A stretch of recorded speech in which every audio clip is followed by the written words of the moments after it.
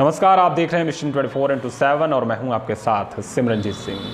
शाहजहांपुर की सभी छोटी बड़ी खबरों को देखने के लिए हमारे channel mission 24 four into seven को सब्सक्राइब करें और घंटी वाला बटन ज़रूर दबाएँ ताकि कोई भी खबर आपसे छूटे नहीं।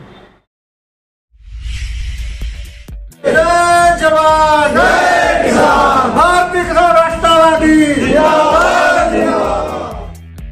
भारतीय किसान यूनियन राष्ट्रीयतावादी ने अपनी मांगों को लेकर आज प्रदर्शन किया। जिलाध्यक्ष के नेतृत्व में पीडब्ल्यूडी गेस्ट हाउस पहुँचे किसान कार्यकर्ताओं ने जमकर नारेबाजी करते हुए प्रदर्शन किया और सिटी मजिस्ट्रेट को अपनी मांगों से संबंधित ज्ञापन सौंपा।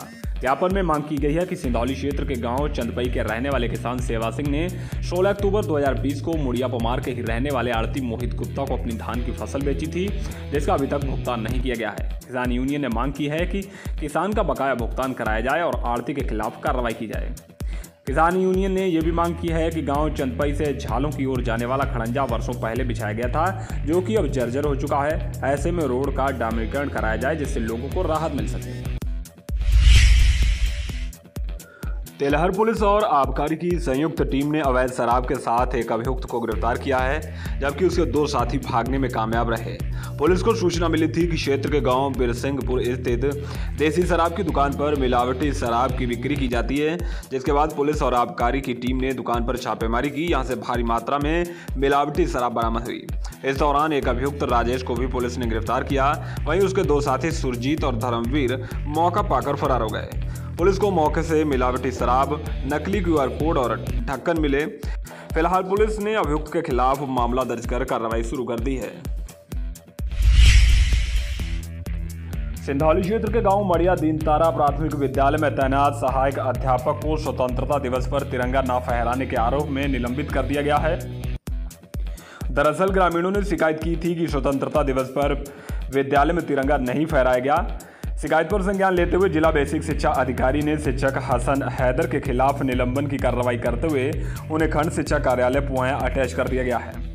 खंड शिक्षा अधिकारी ने बताया कि स्वतंत्रता दिवस पर ध्वजारोहण न करने, राष्ट्रीय पग पर लापरवाही और विभागीय निर्देशों का पालन न करने के कारण प्रथम दृष्टया दोषी पाए जाने पर शिक्षक को निलंबित कर दिया गया है।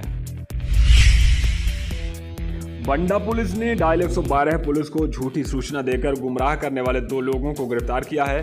गिरफ़्तार किए गए दोनों अभियुक्त श्रवण और सूरज इलाके के गाँव कमालपुर के रहने वाले हैं। दरअसल बीते रविवार के दिन दोनों लोगों ने डायल 112 पुलिस को कॉल कर लड़ाई झगड़े की झूठी सूचना दी थी। जब डायल 112 की टीम मौके पर पहुँची तो शिकायत झूठी पाई गई। पुलिस ने झूठी सूचना देने वाले दोनों अभियुक्तों को गिरफ़्तार कर कार्रवाई शुरू कर दी है। राष्ट्रीय किसान मजदूर संगठन ने किसानों के बकाया गन्ना भुगतान के लिए प्रधानमंत्री को संबोधित एक ज्ञापन एसडीएम पुआ को सौंपा मजदूर संगठन का कहना है कि जहाँ सरकार एक और चौदह दिन में भुगतान किए जाने की बात कह रही है तो वहीं पिछले लंबे समय से किसानों का बकाया भुगतान अभी तक नहीं किया जा रहा। फ़िलहाल, आज राष्ट्रीय किसान मजदूर संगठन के बैनर तले पुआए में इकट्ठे हुए किसानों ने प्रधानमंत्री को संबोधित ज्ञापन एस डी को सौंपा। कोतवाली पुलिस ने मुठभेड़ के दौरान दो सातिर बदमाशों को गिरफ़्तार किया है, जिनके पास से अवैध असलाह और भारी मात्रा में लूटा हुआ माल बरामद हुआ है। मुखबिर की सूचना पर पुलिस ने डैम नहर पर बदमाशों को रोकने का प्रयास किया तो बदमाशों ने पुलिस पर फायरिंग शुरू कर दी। इसके बाद पुलिस ने घेराबंदी करते हुए बदमाश अशोक और कमलेश राय को गिरफ़्तार किया, जिनके पास से दो मोटरसाइकिल, चार लैपटॉप सहित कई मोबाइल फ़ोन और कुछ गहने बरामद हुए। बरामद किए गए सामान की कीमत लाखों रुपए बताई जा रही है। फ़िलहाल पुलिस ने बदमाशों को गिरफ़्तार कर जेल भेज दिया है। समाजवादी पार्टी लोहिया वाहिनी ने अपनी जिला कार्यकारिणी का विस्तार करते हुए बंडा के दलीलापुर के रहने वाले करमजीत सिंह को जिला सचिव की ज़िम्मेदारी सौंपी। समाजवादी लोहिया वाहिनी के जिलाध्यक्ष विपिन यादव और सपा नेता सुबीर सिंह चौहान ने करमजीत सिंह को मनोनयन पत्र सौंपते हुए बधाई दी। उत्तर प्रदेश के पूर्व मुख्यमंत्री कल्याण सिंह के निधन के बाद आज तिलहर में शोक सभा का आयोजन हुआ। इस दौरान दर्जनों युवाओं ने पूर्व मुख्यमंत्री के चित्र पर पुष्प अर्पित करते हुए उन्हें श्रद्धांजलि अर्पित की। अपराधियों के खिलाफ शाहजहांपुर पुलिस की कार्रवाई का सिलसिला लगातार जारी है। पुलिस ने आज अलग अलग मामलों में 18 अपराधियों को गिरफ़्तार किया है।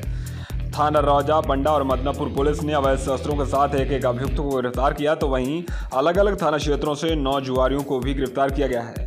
पुलिस ने कच्ची शराब का कारोबार करने वाले छह लोगों को गिरफ़्तार किया, जिनके पास से 100 लीटर कच्ची शराब और भट्टी बरामद हुई है। फ़िलहाल पुलिस ने सभी के खिलाफ कार्रवाई शुरू कर दी है।